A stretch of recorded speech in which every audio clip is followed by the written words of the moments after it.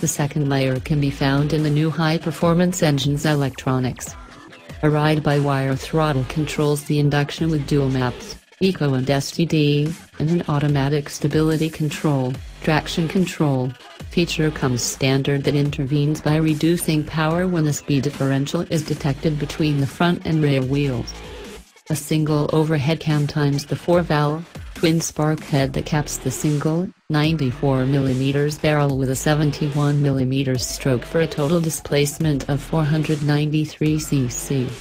It puts at a claimed 44.2 horsepower at 7,750 revolutions per minute with 35 pound-feet of torque that peaks at a 5,500 revolutions per minute. Pretty good numbers until you look at the 606 pound wet weight that it's pushing.